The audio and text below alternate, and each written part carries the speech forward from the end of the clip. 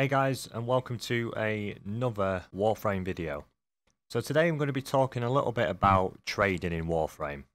And for you new players, hopefully this will help you understanding how trade works within Warframe and enable you to basically have the knowledge to be able to trade and get plat yourself and just understand exactly how it works.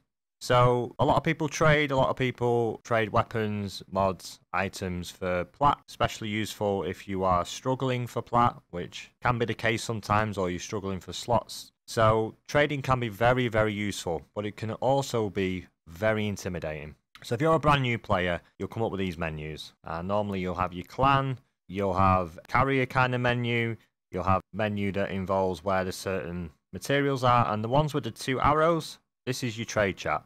So in the trade chat, as you'll see, you'll see a load of different things. A load of different meanings, loads of different mod words, numbers, plat, reoccurring words, blue words in brackets, and for a new player it can be very overwhelming. So hopefully this video will help you to understand what everything means, as well as kind of the abbreviations that you'll see. You'll see a lot of WTS, to give you a breakdown on abbreviations, so you see a lot of WTS, WTB, and WTT, okay? WTB means to willing to buy. WTS means willing to sell. And WTT is willing to trade.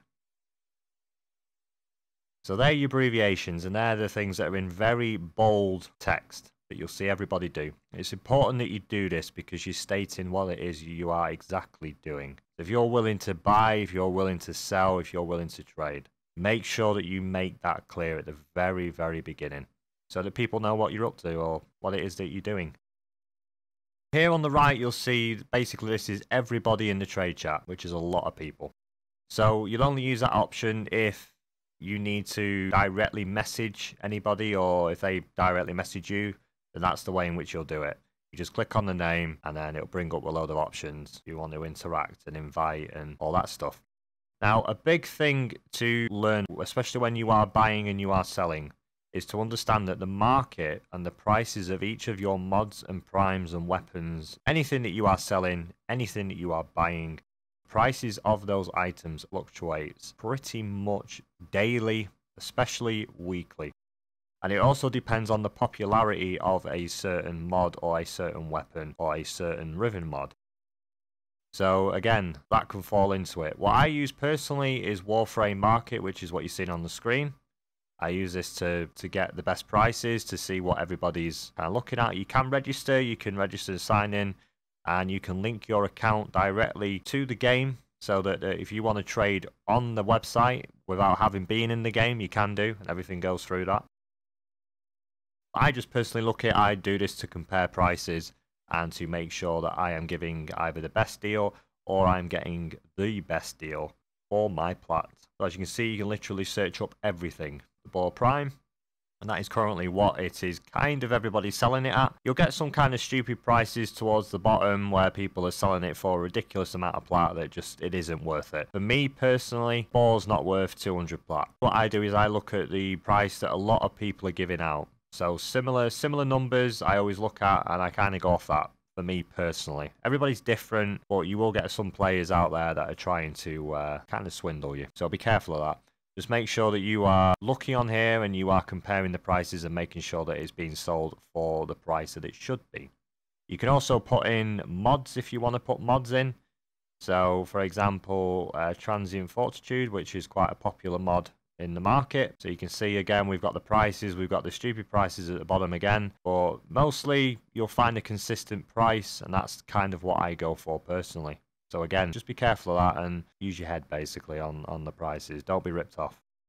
So yeah, that's Warframe Market. I think it's very useful. It's something that you, you definitely need to keep looking at because it gets updated all the time and it'll give you a good idea onto what the prices are of all the items and what you should be selling the, the items for more importantly. So, now that we've done the abbreviations and now that I've introduced you to the Warframe market, hopefully you'll have a little bit more of an idea of pricing as well as the abbreviations that you're seeing in the trade chat. Now what I do is, is I put my items in brackets. As you can see I'm putting Blind Rage in brackets at the moment.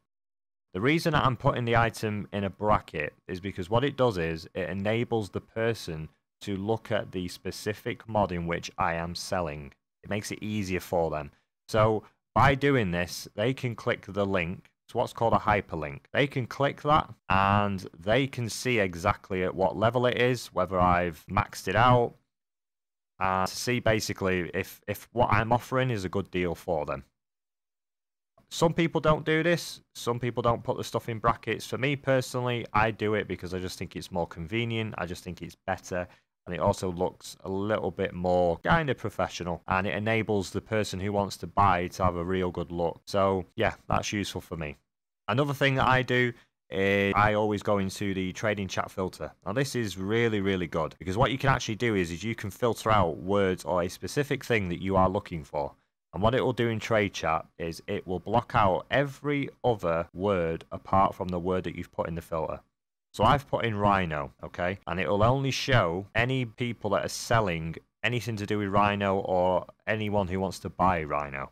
It will filter out that. So you're not seeing a mass amount of different things on, on the screen at any one time. You can add to it, so you can maybe do a Rhino Prime if you want to be more specific on that.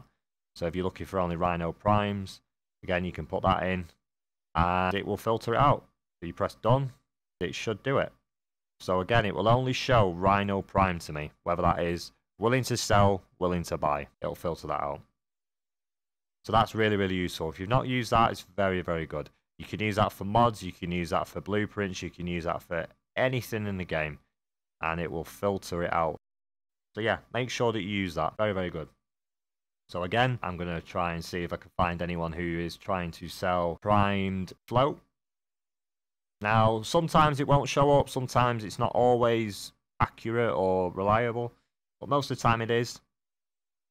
It's something that's been implemented very recently, but it's a very good and welcome addition. So at the moment, I mean, it's coming up with a lot of prime stuff, it's not coming up with anything with prime flow. So, but again, it's something that you can use. So again, I'll put in uh, Trinity, see if any Trinity primes come up. You can literally put in anything you want. It's very, very useful. And what you'll see is you'll notice that the chat now isn't being bombarded. Can you notice that? It's actually it's slowed down because that's the filter now.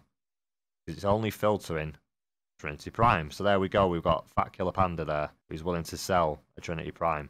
So you can see it's brought brought the Trinity Prime out.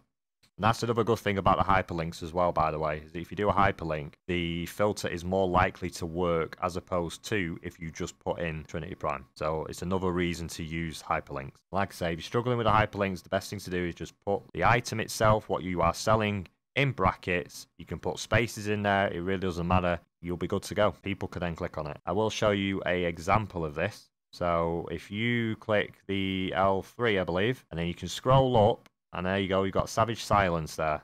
And you can see that this person has maxed out Savage Silence. So it'll probably give you an idea as well as to maybe how much this person's going to be selling that for because they've maxed it out. Some people don't max out their mods, some people do. It really depends. We'll have a look at uh, there's Anistar here, which is a very popular popular mod at the moment, and he's got Toxic and Range on it. Again, it's fully leveled up, so you know that that's going to be going for quite a bit. So yeah, we'll have a look at the Galatine. And this one's got the critical chance, it's got the damage to Grineer. So as you can see, it gives you an idea what it looks like. So that's why hyperlinks are very, very important. Very, very useful. We'll have a look at, I think we've got the uh, the Cernos Prime. As you can see, it comes up there actually in the codex as the hyperlink. Gives you obviously the mastery rank level in case you're not aware of it. So yeah, I think it's very, very useful. Make sure to use hyperlinks. I use that personally. I just think it looks a lot better is useful for other players as well. But that's pretty much it guys. I hope that you found this video useful. If you have, do make sure to leave a like, do make sure to share and comment if you have any queries or any questions that you'd like to ask. Do hope that it's helped you out and good luck on trying to get your pack guys. Uh, have fun. I will see you on the next video guys. Have a great day. Bye bye.